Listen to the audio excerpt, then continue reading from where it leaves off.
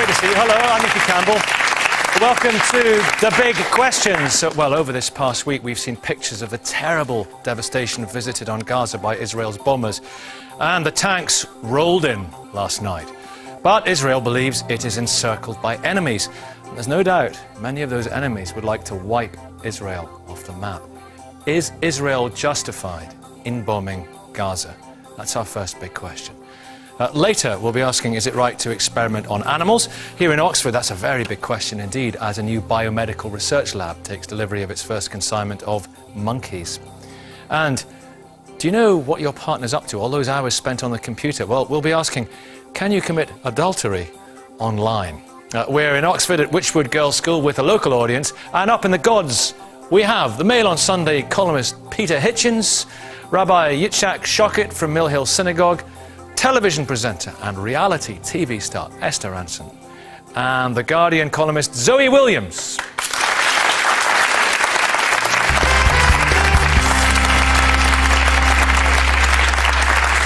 Well, this week 463 people have been killed by Israel's bombing of Gaza, more than 100 of those civilians, including at least 75 children.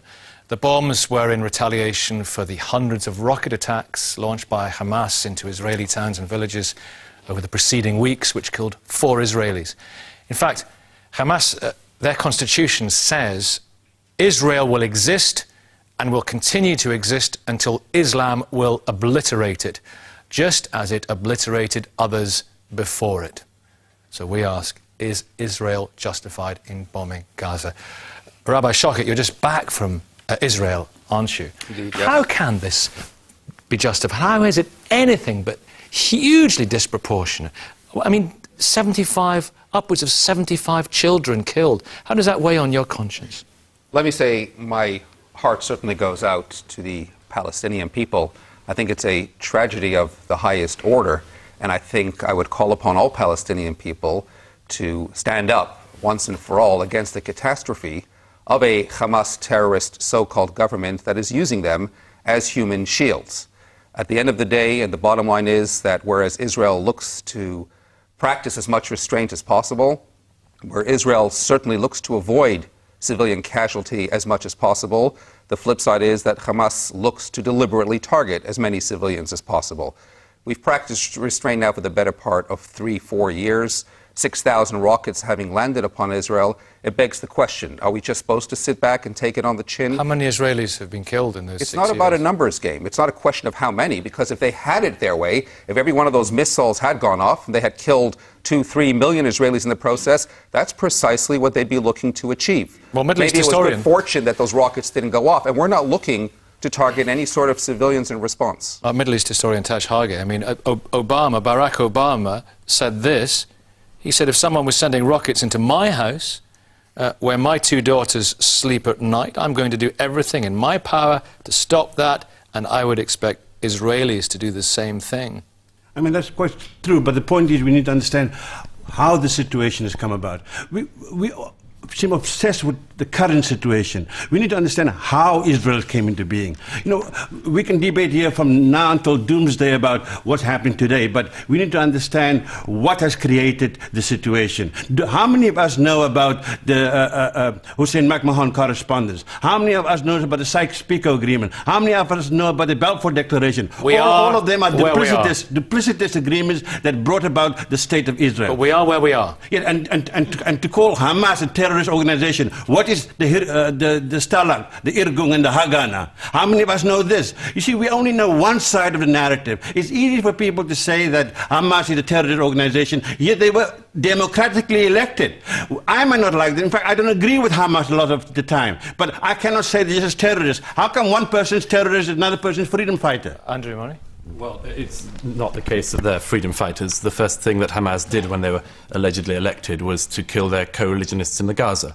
Was to throw people off buildings, to shoot people in the back when they're running away. This is what the Hamas do to their own uh, co-religionists in the Gaza, to other Palestinians. So the first thing is that Hamas not only inflict terror on the people of Israel, they also inflict it on other Palestinians. It's for the Palestinian peoples, as the rabbi said, to try to overthrow this terrorist organization. An organization which, an organization which fights, if I may, if I you label it as terrorist. Uh, well, an organization which no, fulfills come on, every. Come off it. Well, I don't know what else you call an What- organization what- which what has was killed the hundreds of it. what was the Irgun? What was the Haganah? Well, the Irgun and the Haganah are not operating at the moment. No, but what were Uh, they? but- well, they were terrorist organizations Thank at the you. time. But I would say that just we're talking about what's happening at the present. And the present situation is that Israel builds bunkers in which its civilians have to shelter from rocket fire from the Hamas. The Hamas builds bunkers and hides its rockets in it, and then puts civilians on top of those bunkers. That is a terrorist What do you organization. expect in a David that is and an Goliath struggle? What do you no expect in a. David and Goliath That struggle? is- that is a, an organization that has no respect for human lives, not Palestinian lives and not Israeli lives. F-16s. M- Mahmoud, you're a.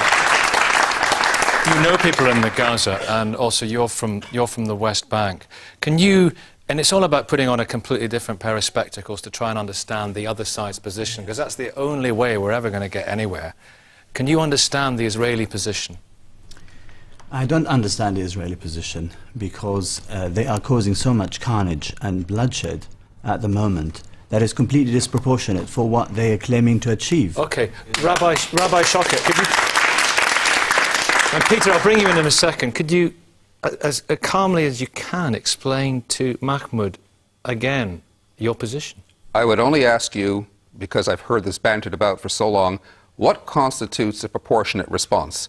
In other words, if they spend the last three years throwing 6,000 rockets into Israel, would you consider a proportionate response for Israel dropping 6,000 missiles back into Gaza, and however many may be killed in the process, then so be it? I wonder what the UN would have to say to that. Well, Rabbi Schochet is, is actually vocaling uh, so many myths and so many um, misinformation about what's really happening on the ground.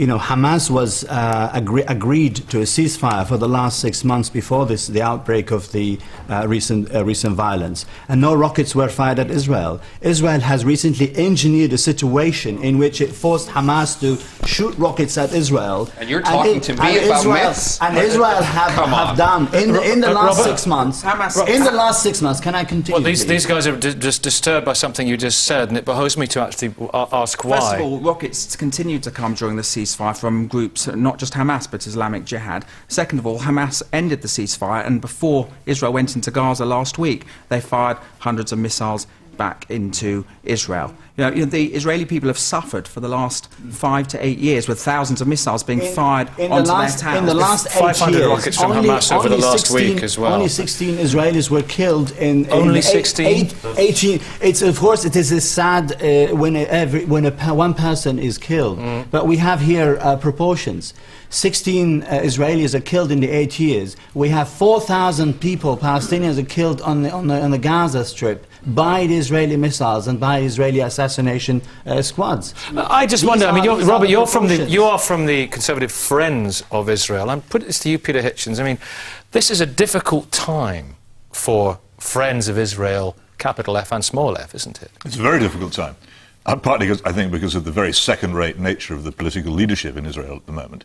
The problem with this action, apart from the very large numbers of innocent people who are getting killed in it, is that it isn't actually likely to achieve the aim set out for it. If I thought that Israel actually had a serious plan for stopping the rocket attacks on Sderot and other Israeli towns, mm-hmm. then I'd find a lot more sympathy in my heart for the action. What this is about, I'm afraid, is, is sordid electoral politics in Israel and the desire of, of various politicians to get, them, to get themselves spurious reputations as hardliners. Six months from now, there will still be rockets being fired from Gaza into Israel. D- uh, despite this operation, once this is all over, it, it, it will continue to happen. If it, if, it were, if it were a serious operation to stop this, if such a thing could be contemplated, there'd be more to be said for it. But it's disproportionate, not because of the level of arms involved, but because it simply doesn't have anything to do with its alleged aim. Well, okay. That's the real on problem that, Israel, Israel has. Douglas, I think I think I called you Andrew, Andrew earlier, and I apologise for that. You know, you, you have the, stat, the, the stature of a tennis player, clearly.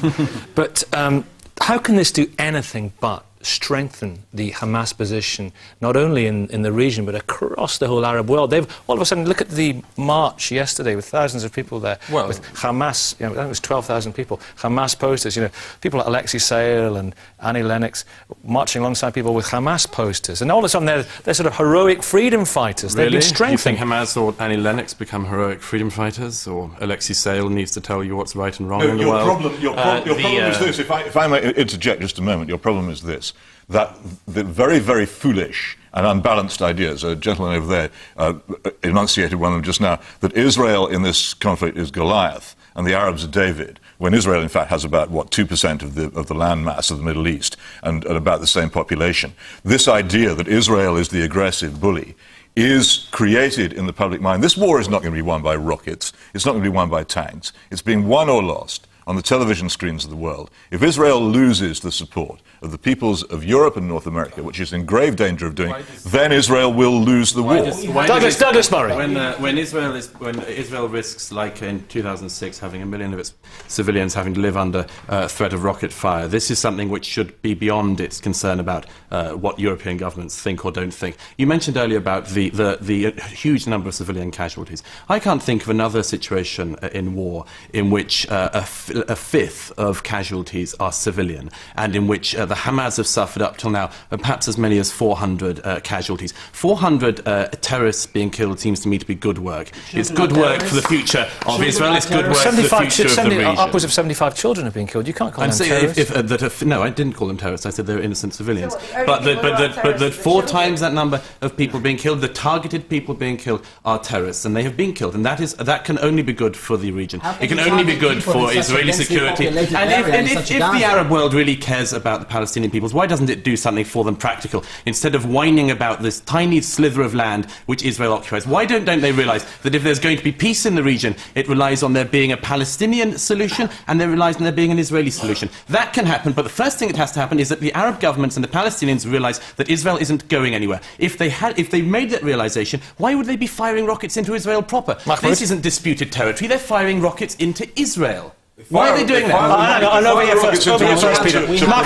provoke No, we, this we- reaction, we and have, we have to look at the you know, root causes of this uh, recent conflict. It didn't start uh, on the 27th of, uh, of, of uh, December when the rockets started uh, flying and the, and the eruption of this recent conflict. Uh, we, we have uh, uh, six months of, of siege and blockade over Gaza. People are starving in Gaza. Starvation by Israel, blockading uh, supplies of hundreds of food, of medical, food. medical aids, uh, and, and everything to Gaza. There is a 41 year, uh, years of occupation. Palestinians are not allowed uh, to, to have their, their, their freedom. Israel withdrew from the, from the Gaza, uh, uh, from the settlements, but it continues its occupation of the Gaza Strip Nicky? by, by Esther, let me bring Esther in. I mean, I just wonder, you know, as a Jewish woman, obviously you have this emotional attachment to Israel, I'm sure. How do you feel at the moment about all this? If I were God, I would ban religion. God's given us how many thousand years of trying to make the world work religiously, Rabbi? And we have failed. You are a Semite. I am a Semite. Why can't we live together? We are, in the Middle East, neighbours. Actually, my emotional loyalty is to the country I was born in, which is Britain. So, what I feel about this is if I were God right now, I would say, Hamas, God's not on your side. Jews, you're not chosen people. I chose humanity, and you have failed me. So, you know what I'm going to do? I'm going to melt the ice caps.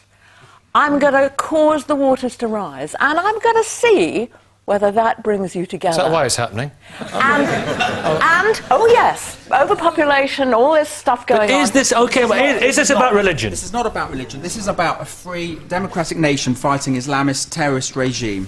Hold on, Islamist? Yes. All right, and, and Israel is a Jewish state, is it not? And it's a democratic Jewish state. Yes, and there are all kinds of other differences, but the most important thing they have in common is they're all human beings and they need each other.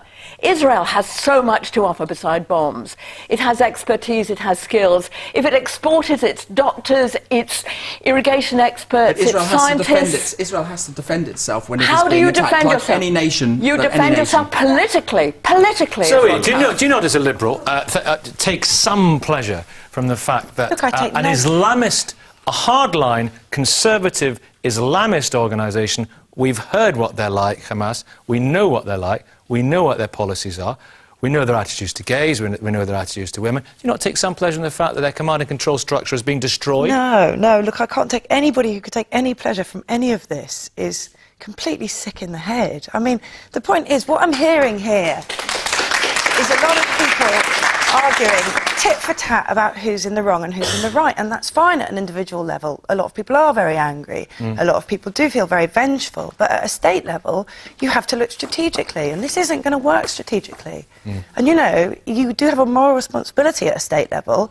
to behave in a reasonable, not vengeful, but strategic way. Douglas Murray, very quickly. Douglas, then I'm going to go to the audience. Douglas. I just, I just asked what anyone in Britain would do if we had 6,000 missiles raining down on us and we had a sixth of our population living in bunkers. Okay, We wouldn't tolerate it, and nor should Israel. What would you tolerate that if we, if we, we had these rockets raining down on us in this country? What would we expect our government to do? Well, the rockets have been raining down on occupied Gaza, and they've been raining down on the West Bank.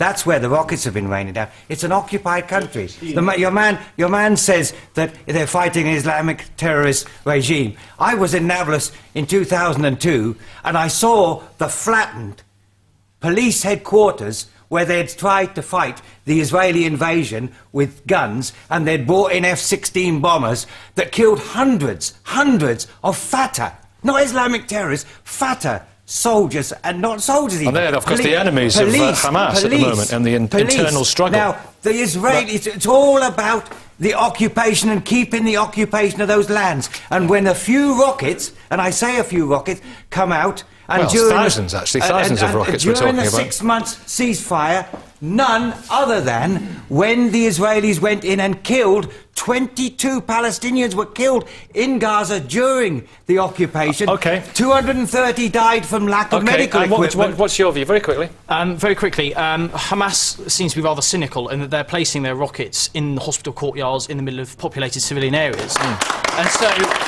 so when Israel is bombing them, um, of course they're going to cause civilian casualties because they're targeting the, the, the rockets launch. How can Hamas go on about uh, complain about civilians being targeted when they have been targeting civilians for so long, and also when they are clearly holed up in civilian areas? They, they, that rocket hit a school in Beersheba in Israel the other But day. we have to take, in mi- to take in mind that Hamas is a democratically elected uh, party, and they are the government in, uh, in, uh, in, uh, in Palestine.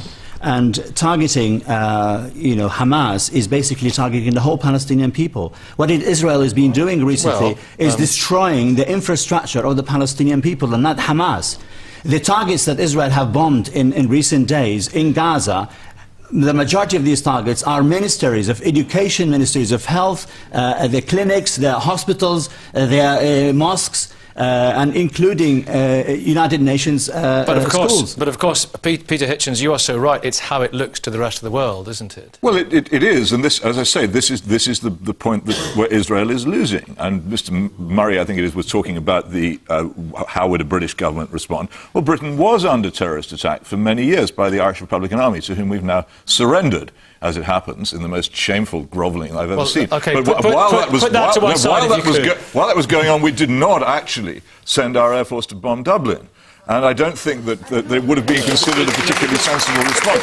Effective, effect, effective response is Or- or- one thing. Ineff- ineffective, politically blundering, Or, fla- or, or Douglas Murray, doesn't or Douglas work. Murray, during the Troubles, of course, perhaps a better analogy would have been flattening or bombing the Catholic parts of Derry. We never did that, did we? No, but we sent in troops. We had no, we had uh, areas where we had f- famous uh, mistakes by the British Army during the Northern Ireland troubles. This is, however, not at all similar. mistakes, as However, you- this as is, you now this is, however, however, this is not at all similar to the situation in Northern Ireland, and, and the president just doesn't work. Uh, the uh, IRA uh, were not uh, uh, uh, ele- elect- an elected uh, uh, uh, organisation, as Hamas claimed to be at the moment. But they had massive didn't, support. They didn't fire uh, rockets into ma- mainland Britain with the continuity that, that, uh, that the Hamas d- did. Uh, the Hamas have uh, effectively ministries uh, in the Gaza. They have arms dumps in the Gaza. they- if we had been able to identify similar arms dumps uh, when, in the IRA's times, if the IRA had had, uh, had the munitions that the Hamas do now, we would have done everything, They killed anything similar people- to what Israel has they done. Killed more people, line they is- killed, one, Well, one it second, please. But they killed more people with massive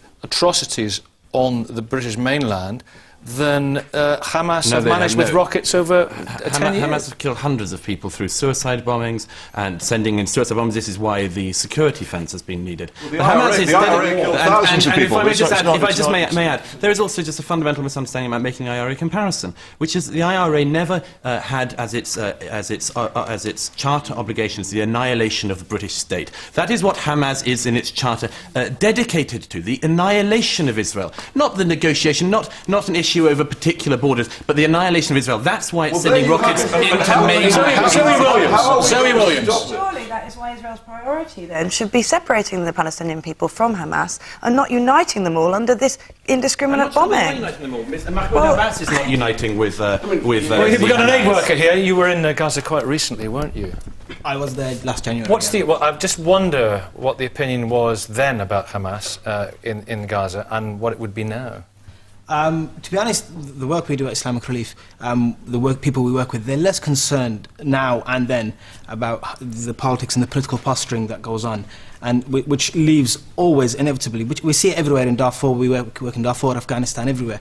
You know, all this political posturing. There's people who suffer are the civilians, the poor people who have no say, who have no way of kind of making any uh, uh, representation to anybody about what they would like or what they want.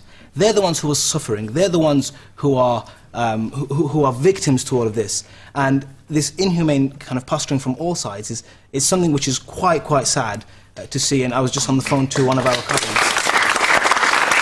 Oh, I was on the phone to one of our colleagues mm. just last night, and he said, "Look, mm. I'm, I'm in the. I mean, I'm, I'm really glad that Israelis can hide in bunkers. Uh, sadly for the Gazans, there are no such bunkers to hide in." Um, he said, "I'm in the cellar of our house, um, and, and we can hear them outside now." He says, uh, "How he says, we're, we're all terrified, and we don't know if we're going to see the, mo- the morning sun rise." So it's it's really quite a terrible situation for the Palestinians. The humanitarian situation was dire before this. Before this, you know, the, before this uh, recent campaign, many of the most uh, respected NGOs were coming out saying, "Look, this is." This is not tenable. You cannot continue as you are. 75% of people in Gaza continue to rely on handouts, food handouts. You know, this is not a situation But which as Gordon. Brown said, uh, you know, they must. Well, we'll get you in here. Gordon Brown said on the Andrew Marr programme a little bit earlier on, Israel must have security. Um, well, on, on that subject, I think uh, we, we can spend a lot of time talking about who's justified and who's not, but I don't think it's that type of situation. It's a long-term problem, and this is a short-term solution because violence only escalates violence. And I think. Um, It is strange that Um, we've, we've had this debate, but not once have we called it what it is. We talked about Islamism, we talked about the Hamas, but we don't talk about Zionism. I mean, what is Zionism? Do we people know Zionism is a political ideology? It's not the same as Judaism. We need to separate the two. We also need to understand that to be anti-Israeli is not to be anti-Semitic. The two are totally, vastly different. They're not linked at whatsoever. We also need to see the parallel between what, ha- what happened in the Warsaw Ghetto and what's happening in Gaza today. I mean, that is the parallel we need to see.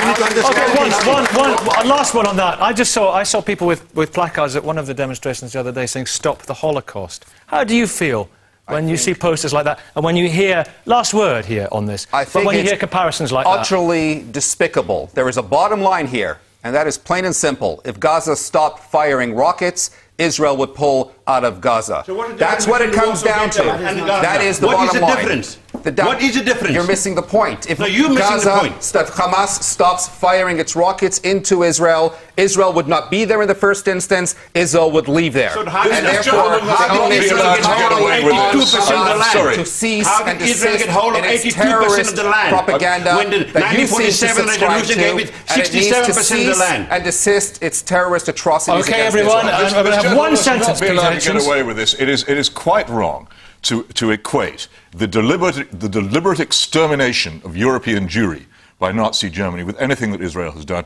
You know it's wrong. It's false propaganda, Actually, and you should parallel. be ashamed of it. Thank you all very much. Thank you very much. That's all we've got time for on that one, unfortunately. But listen, you can have your say. And I'm sure you've got something to say about it. Just log on to bbc.co.uk forward slash the big questions. Follow the links to the message board. We're also asking on this morning's programme is it right to experiment on animals? And can you commit adultery online? So why not send us your thoughts on those topics too?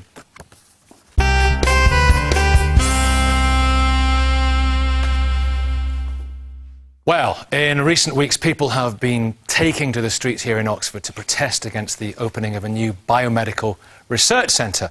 Its scientists will be seeking cures for cancer, heart disease, strokes, Parkinson's, Alzheimer's, diabetes, HIV, muscular dystrophy, and motor neuron disease. Well, you can't argue with that. But there is a big argument about their laboratory methods, especially the use of fish, frogs, mice, ferret, and indeed monkeys. Is it right to experiment on animals? Two animal rights protesters here, uh, Amanda and Emma. Good morning to you. What are they doing to these monkeys? They're doing quite horrific things to them. They're training them to do certain tasks by depriving them of food and water. They're starving them into submission, and the reward is to have the tops of their heads sliced off and electrodes forced into their brains. It's just horrendous what's happening to these animals. What about the other animals there, the mice? I mean, do you, do you care as much for the mice as you do for the monkeys? and- Absolutely, hmm. absolutely. They're just mice and rodents and fish, people will say, for goodness sake. So, you know, some people will draw a line and think, I find the, the idea of macaque monkeys being experimented on in that way extremely disturbing, but, but, but mice? Yes, um, a, a mouse's life is just as important as a monkey's life and just as important as a person's life. I mean, they are So, I mean, our last debate, do you equate it with the, the, the horrors that we've been hearing about there in wars? I mean, do you think it's as... You, you, I know you feel passionately about this, but do you think it's as relevant and as important? Suffering is suffering. I mean, they are doing things to animals in laboratories that would be considered torture if it was done to people. And yet we know animals feel pain. We know that they suffer both physically and psychologically. Um, and the reason um, that experimenters give for why we should be allowed to do this is because they say animals are worth less than people. Well, I'm sorry, but that's the, the same kind of ridiculous claim that the Nazis made when they experimented on those they'd imprisoned inside concentration camps. They said it's because they were worth less than they were. And it's the same kind of claim that white people made when they enslaved black people. They said it was okay because they're worth less than we, um, so than we are. uh, But I'm sorry, that, that is not a reason. No. That is an excuse for exploitation. We're just getting context from you, but what if somebody were to say, were to say to a relative of yours, a, lov- a, a, a, a loved one, look, Herceptin will save your life, or you indeed, and Herceptin was, what, incontrovertibly, it was tested on animals. Would you accept that drug? Would you be happy about your nearest and dearest having that drug, Emma? Yes or no? Um, To save their life? I mean, the the problem is that all drugs have been tested on animals, and I don't have a choice. You know, if, if there was a choice between um, a drug that had or hadn't. You just want to stop the testing? Um, yeah, absolutely. I mean, I but it is not right to expect a sentient being that can suffer. and it's torture, to- that's the word you It use. is It's torture, torture. absolutely. Dr. Simon Festing, it's torture. Well, it, it- medical research is about compassion for people and, and, of course, animals, because they benefit from medical research, animal research as well. All the veterinary medicines were developed in animals. Um, the point is that uh, use of animals is a small but vital part of medical research to develop new cures and treatments. Um, Is it vital? Yes, it is vital. It's a small, but nonetheless vital, because you cannot do it in the alternatives. You can't study a beating heart in a test tube. Let's just talk about we hear about what they're doing to those monkeys, yes. for example. So Let's talk about the- that. Yes, let's talk about that. The surgeon at Oxford University operates on 200 patients each year for Parkinson's disease. Mm. He slices off the top of their heads and he inserts electrodes into their brains, exactly as he does to the two monkeys that he uses every year for research. It's the same operation, but he applies the results of that research directly to improve the operation he does in his patients. It's a life saving operation for Parkinson's disease. These monkeys are isolated That's in not cages. true. Yes, yes, they are. No, no, they're, they're housed together in groups. They're extremely well looked after. Oh. And they are given, you, you would not wish to mistreat them because you wouldn't get with good results from your surgery. Hmm. It's the same operation that he does in the patients that he does on the monkeys. But the patient understands what's going to happen. to them, Exactly, don't they? this- Whereas the animal, we it just value think, doesn't know what it, why you're doing that. You're just being randomly cruel to it. And animals, I think animal animals have rights. souls. Uh, and that's you know, maybe we benefit. Maybe we What benefit from who that sort of research, Yeah. right? Right. You might have a good argument for that, but the fact that higher animals, especially monkeys and dogs and cats, do have some sort of soul, some sort of consciousness there, and do f- suffer when you sort of inflict these sort of treatments on them. Macaques are they our don't cousins, aren't understand. Yes, that's That- right. and that that's is exactly immoral. why that they are used. As you say, I mean, we're using this kind of surgery on monkeys, this is less than one in 10,000 of animal research projects. It's a tiny, tiny part, but it is nonetheless very important. Well, is it important, Andre Menache? I mean, if it wasn't important, they wouldn't be doing it. I'm sure they don't enjoy doing it. Okay, well, animal experimentation is bad science. Uh, the jury is still out on whether deep brain stimulation in people is helping, is causing more good than harm, or vice versa. Um, the, the research that uh, It's completely untrue. there is 50 miles away from here, there are researchers doing non-invasive scanning on human volunteers, and they are getting equivalent, equivalent data. They don't have to do these experiments on monkeys. Andre, that is completely untrue. The world's leading medical experts, and this has just been in a published paper in Nature, have said that this um, fMRI scanning that you're talking about does not give the same results, and you cannot replicate the studies that you do in animals with scanning. It's a completely different technique that just measures the blood flow in the brain. Now, of course, we nobody would wish to use alternatives if it could be avoided. Nobody wants to use animals. I mean, of course, we recognise all the ethical concerns. We would much But isn't there a rather- compo- commercial imperative too? not at all, no. Most, most research, no. Animal use is very expensive and it's very time consuming. We would, so we are investing hundreds of millions of pounds in the alternative, in scanning, in microdosing, uh, in these advanced mechanisms, of cell cultures, computer simulations. Now we've got it to the stage where animal research is only a small part of medical research. But Most still a of the- vital one, as you but said still earlier. Okay, let's take yeah. it to the panel. I mean, Esther Rantzen, do you fi- not find this repulsive? No, absolutely, I do not find this at all repulsive.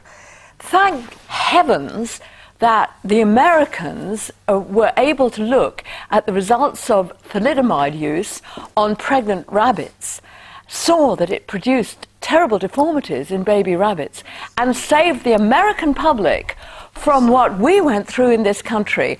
I'm listening to I, I- excuse me, I am listening to the logical, carefully thought through argument by a man who does not appear to me to be a psychopath or a sadist, and I don't. But you believe, never know. And I don't believe that scientists who work with animals don't care about them, don't suffer with them, and don't wish to find other methods.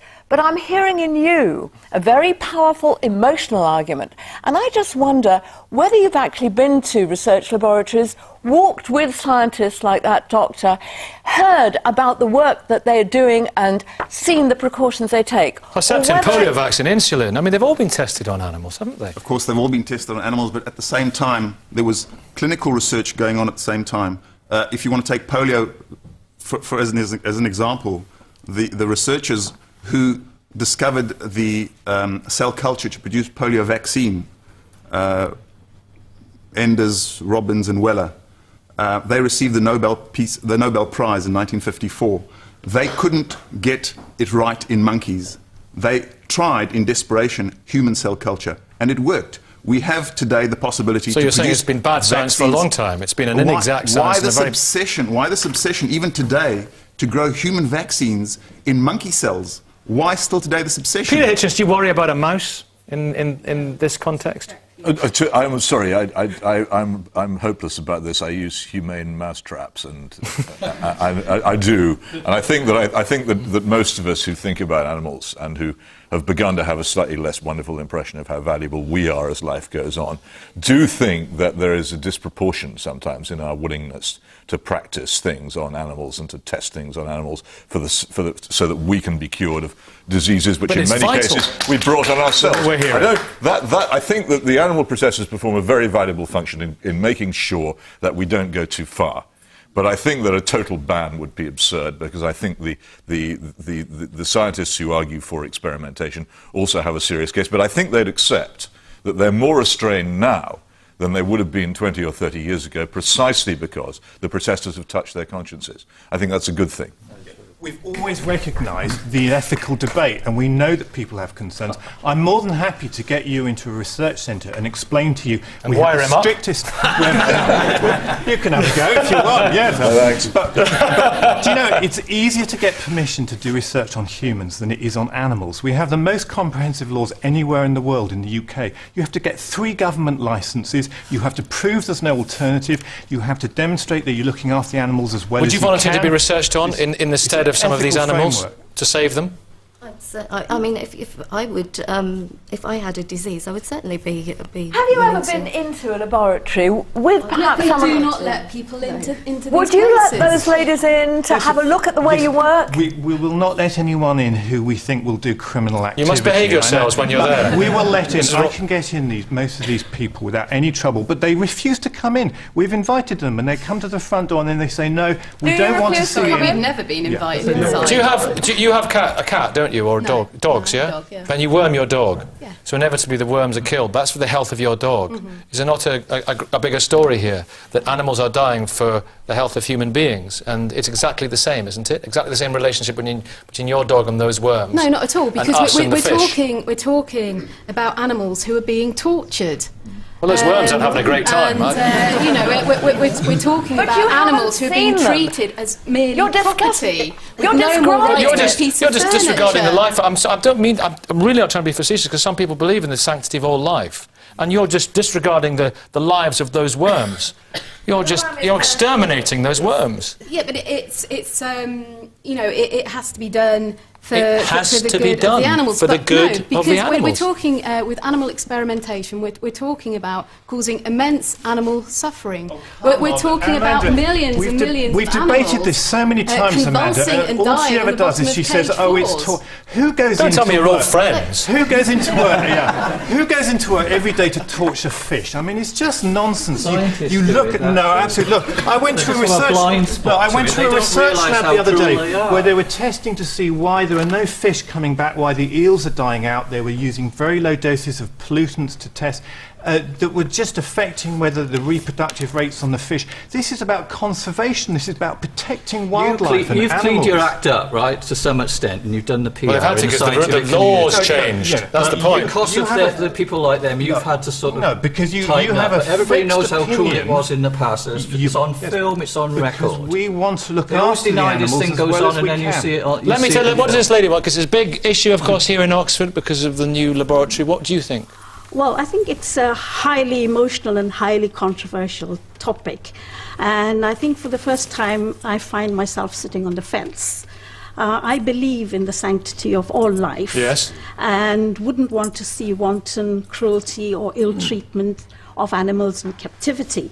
But at the same time, I go along with the idea that if there are carefully controlled, humane and ethical and necessary experiments that work towards the creation of, of drugs or improvement in drugs for healing people with life-threatening With proper diseases, controls. then proper controls, I Yeah. would go along with it. Yes, and with the red, and the red jacket, yeah.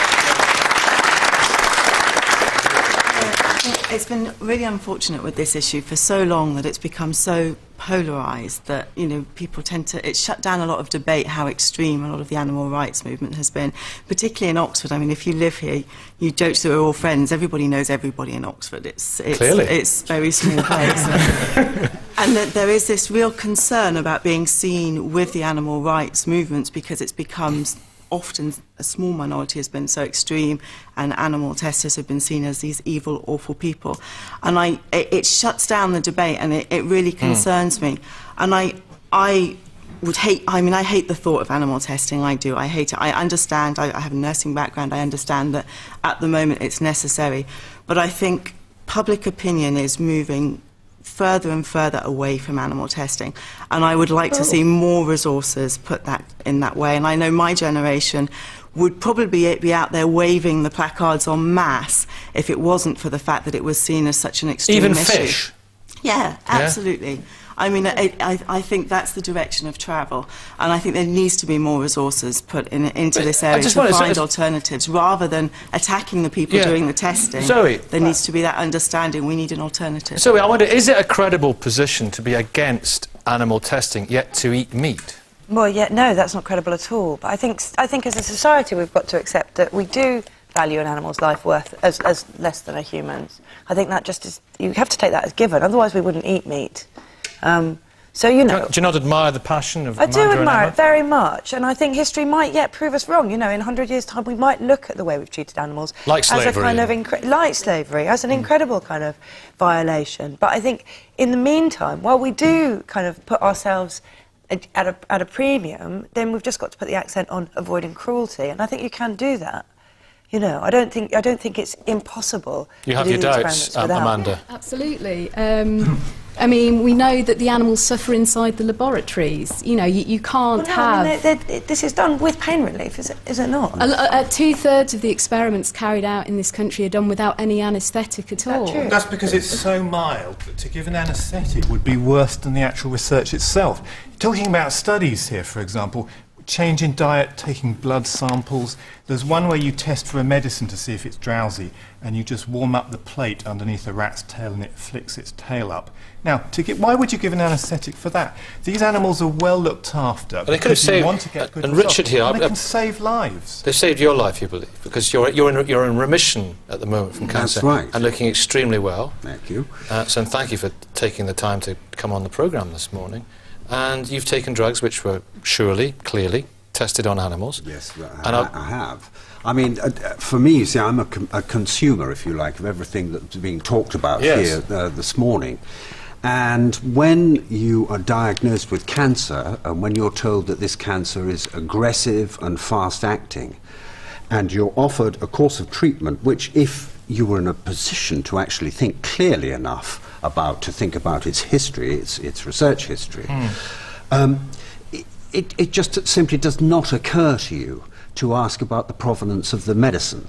The point is, you have a responsibility to yourself as an ill person to seek any form of treatment that can get you better. You have a responsibility to your family, and I think the last thing on one's mind, and I'm sure this, I speak for people who are not just cancer patients, but for but people in, with all sorts of conditions, you have the last thing on your mind is to wonder about the ethical production of the medicine that you're given. You just want to One get well. Wants to get well. Exactly. You have had the last word on this, and we wish you well. Thank you very much indeed. Um, well, you agree with what's been said, you can log on to bbc.co.uk slash the big questions, put your views on our message board. Please do that. Take the trouble if you've got the time. We, and also let us know what you think about our last debate. Can you commit adultery online? And also, you can apply to be in our audience at future shows. We'll be in Leicester next week, Canterbury on January the 18th, and in my own hometown, Edinburgh, on the 25th.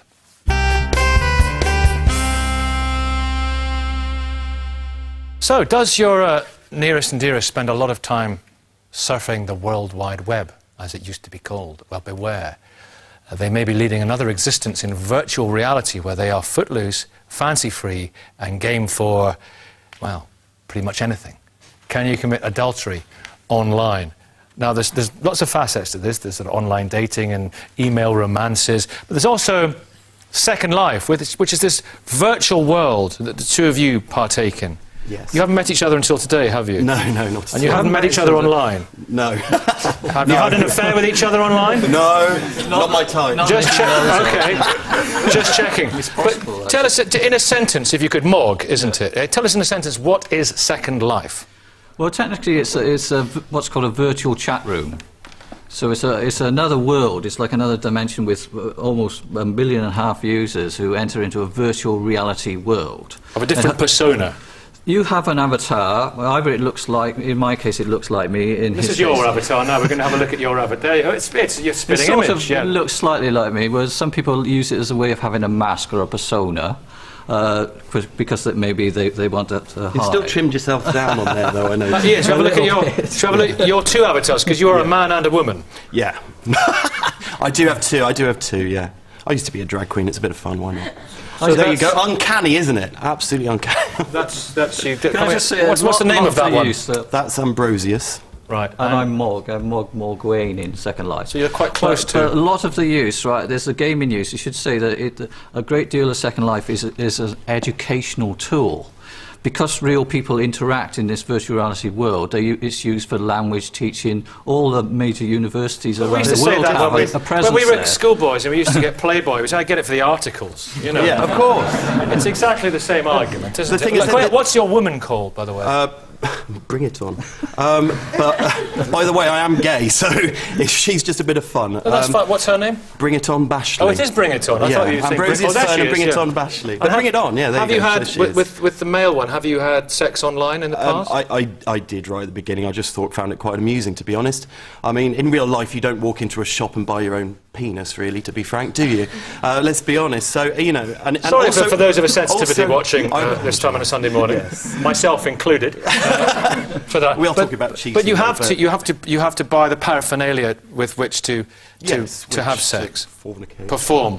Or you can go to certain places, dungeons and sex clubs There's all that kind of exist. 'cause all, all human life is, is in Second Life. It is a sort of reflection of the real world. So if you wanted sex, you wouldn't have to buy anything. You go to a particular club uh, and you would find people willing to participate in that sort of thing. Is it unfaithful, Ian? I don't believe it is unfaithful because you're sat there in front of your computer.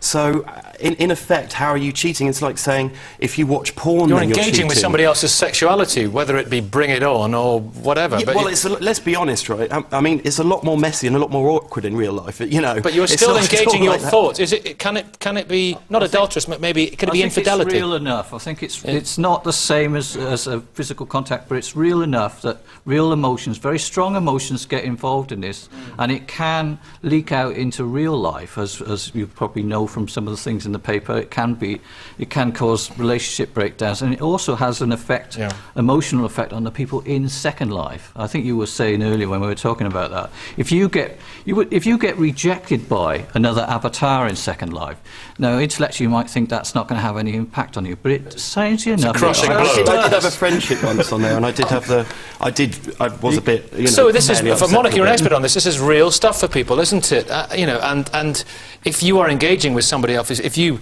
are living this this avatar life, this second life, as somebody you always wanted to be, the sort of figure, fantastically good-looking and well-built, and you're having an, some sort of an affair with with another avatar, it, it, there's a, there's an element of disloyalty there, isn't there? There, there is. I guess when you look at internet infidelity, though, you need to look at the different spaces online as well. Yeah. So my research has looked at people that get into chat rooms and develop relationships there and have cyber sex and, and the like in different spaces online. And in those spaces, you're talking to someone um, who's not necessarily pretending to be a different persona. Um, and why people will see it as infidelity is if you fall in love with someone online, and that's seen almost as awful as falling in love with someone else online that's not your partner. You're spending time self disclosing intimate details about yourself that may be reserved for your romantic relationship. It's a guilty mind. Well, when it's kept a secret, then that's guilt as well. It's also the idea of desiring someone else too, wanting to have um, cyber sex, even if it's not real sexual penetration, really wanting to. I'm going to. I'm going. Let's go to our avatars. I'm going to be. I'm going to be Peter Hitchens, I think. but what do you think about that? What do you think about the Second Life business and people doing this? And can it lead to a, a, a form of adultery? Do you think? Uh, how, how can I comment on this? The wickedest thing I ever do on the internet is edit my own Wikipedia entry. uh, but there does seem to be something terribly sad about it to me. It is deeply, deeply. I got very bored of it after a while. I think. Can you say the same about you spend a lot of television, though? time in there. Television you is could. virtual reality. You could. I, the, the, with, in so many parts of people's lives, they, they have no real life. There is no neighborhood. There is no family. There is no friendship anymore. There's electronic substitutes for it. And this, this strange void into which the internet sucks you is a bit, as somebody once rather unkindly and unfairly said of New Zealand, uh, it's always worth remembering there is no there there. There's nothing there. And, and you, you're, you're just, you're just, you're just going into a void. I get, come out of it while you can until, until, until your whole brain is vacuumed out into. into But can it be? Uh, is this a form of infidelity, Esther? When I was 14, I spent a week reading Gone with the Wind. Mm. And during that week, I was Scarlett O'Hara, strange Okay, as it may seem. right. And I was so. What do you mean? Who is this man? Good heavens. Um, and I was profoundly in love with Rhett Butler. Now, why was that different from what you do? I think it was. And I tell you why. Because Margaret R- Mitchell, who wrote Gone with the Wind, was an extraordinary woman. And she created a historical context and she described these people, complicated, difficult people, so that I learnt about humanity while I was in love. I mean, people had this Did you have experience reading Jane Eyre and, Butler? Can I- and Wuthering Heights. What concerns me about you two is what was happening to the rest of your life. I've seen I television. don't pro- spend that much time on it. I'm just saying, you know, when you are there, you can go to different worlds. You know, i in real life, it would take you hours to take a plane to, I, I don't know, to deserts or whatever. On this, you've got all these different worlds, and you know, in a second, although it's not real, Let me tell you you can just see it. I mean, it's, me it's just a bit of fun. vision- I see it as a giant game. I see it as a big online game. I do not see how you can. But it can be somebody in very involving. I mean, John, you're a, you're a divorce lawyer. I can mean, what be, about yeah. it's, it, can it lead to people thinking things and doing things that they shouldn't say- be? First of all, one thing I would say is it isn't adultery, because adultery has a very specific meaning in English law. Hmm. And it is um, sexual intercourse between two people by consent, one of whom is married, but not, not necessarily to the other, at least one. So it isn't adultery, but it is certainly, in my view, infidelity. And I'm seeing more and more of this. I would say, extraordinary enough, probably a quarter to a third of my cases have an internet input into. Really? A very large proportion. And I think when people become unhappy, it is their first source. In the olden days, maybe it was uh, wife swapping. Uh, this technology now is available. It's available if you are dissatisfied Can with I your just life. ask about that? What do you mean in the old days it was wife swapping? I'll tell you. You remember? I'll tell you. it, was a, it was a sort of um, infection in this country which lasted four or five years in the 70s. Not What- What's that pair of car keys doing down What there? is all this? That's- if, if, if, if somebody, if you found somebody that you were romantically involved with on being, a, uh, being an avatar online, having, uh, hav- having it away with an avatar, whatever the expression would be, you, you, would, you wouldn't say, quite frankly, my dear, I don't give a damn, to take a line from, from your favourite book. You'd be furious, wouldn't you? No. Or would I contemplate? Would I contemplate a threesome? Oh, f- well, well there, there, there is a Rabbi Schochet. I, uh, first of all, I, with respect, I would have thought you should enjoy that sort of role, because then you can be God and then you can ban all sort of religion. But leaving that aside, I would say to He's you taken that taken it personally. I didn't mean it. No, by it's the all way. right. Yeah. Um, it It's a doesn't it's a- it's a constitute- it doesn't constitute isn't it? adultery. I think actually it's a cheap escapism that reflects a certain frustration in a person's life. Sure. It doesn't constitute adultery in the absolute sense, but it certainly is unfaithful. And in that regard, in say in the context of a marriage, when a husband or a wife has to escape into the computer to express themselves on that, in that sort of manner, you've got to ask what is wrong at the core of their very own relationship that they need to express it somewhere inside the world. But you would probably say the same thing about people watching pornography, wouldn't you? You'd probably disapprove Somebody of that. Somebody watching pornography on the internet is again looking for some sort of cheap escapism hmm. where he's trying to compensate for something that is lacking within the context of his own relationship. Some pretend that, that you know while they're uh, making love to their partner that they're making love to somebody else. I mean, surely in some ways that's worse than having this online avatar that looks nothing like you. It's a fantasy version of you. Or, or what, or, or what we walking all do now and again, when you see an attractive person, you think, I wonder. And, you know, we all do that, There are a don't lot we? of Or in is it just me? relationships that have, have I a hope list of people back that they would. Well, I think that if for you, something your partner does in an online game Mm. carries the same weight as a real affair in the real world, then you've got bigger problems than infidelity. Mm. Surely it's like what Erica Jong said in Fear of Flying that you don't, you, you can't help yourself thinking about other people all the time, and surely it's just a harmless fantasy. And you've got this huge buffer of the fact you've never actually met the person face to face. You don't know them. You're not involved with all the nuances of their personality that you can only pick up through physical interaction. Surely it is really just the same as looking at somebody else and imagining what it would be like to be Uh, Monica, but that can be dangerous, the fact that I- I um, think- I more mean- can be said. But the, the, the important part is looking at the interaction and the emotions that are involved in mm. that. And so looking at do you really fall in love with this person? Do you want to continue seeing this person? So when we're looking at these different aspects of the internet, Second Life may not be perceived by as many people as a real act of infidelity. And why is it? Because some people don't identify with their avatar. Some people see it as a game. And if it's in the context of a game and they're not engaging in the, the same What, all, way, all, the it- messaging that goes on now. E- and, uh, exactly. So, and when we look at offline stuff too, we know that if you have a fantasy about someone that perhaps is a pop star, whatever, then your spouse is less likely to see that as upsetting or betrayal because you're probably not going to have that opportunity to having sex with mm-hmm. them. And yet, but if it's their best friend, having indecent images of children on your computer is an offense, not just because you're abetting and aiding the people who are taking those pictures, but frankly because of the real concern that it goes from there to feed Ab- something very, very Ab- grotesque and perverse. absolutely, And if that works in that context, then it works in every other context as well. do you think, But uh, this Zoe, do you think it will work in this context too? Do you think this is a slippery I, think, slope? I don't know. I think the main problem with child porn is the is the children who are photographed in it. It's not the people themselves. I mean, the, you know, you're talking about right a to call it, it's not right to call it porn. I know that p- the people who are battling against this don't like it being called child porn because porn is legitimate. This, these are abusive, okay, okay, okay. these are I mean, images of What you're children. talking about is that you're talking about a kind of uh, levels of victimhood. I don't think there's a I don't think there's any level of victimhood in Second Life. But can it lead you on and on and sort of drag you into this fantasy I think world? it's very unfair to write off all escapism as an inherently bad thing. I think it's very unfair to privilege novels as immensely better than an online community because some online communities are very complex and they're, you know, people have very high level conversations with one another. I think it's very unfair. With one kind of- another, but they're not, are yeah, they? they are. Yeah, they are. I mean, they I, th- relate I think to you're one not another. understanding that, that, that the avatars, each avatar has a real person behind it. They may be in America, they may be in other parts of the world, they may be disabled, they may have all sorts of other things going on in their lives. But, But it's his real. was a laugh, wasn't no, it? no, Yeah. but he is interacting. I mean, maybe Uh, yeah, there is some controversially. It's a very, sorry, it's a very male thing, say- maybe. Saying the internet itself was bad, going back to something earlier, saying the internet itself is bad, I wouldn't have come out, had the, had the guts to come out as gay at 16, had it not been for the internet, and that helped me out. So it's a sign of our times. It depends how you use it.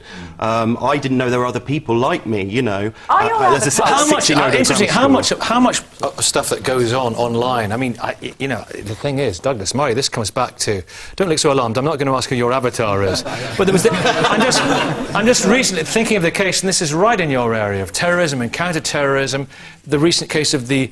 The lyrical terrorist. This is the woman who was writing. She worked at, I think, Heathrow, and she was writing poems about beheading infidels and how wonderful that would all be. How how far is that allowable because it's uh, I mean it becomes a thought crime at, at this stage and that's a worrying development if you can't let people think Well, she appealed and I think and got off uh, in, in that particular case, the lyrical terrorist.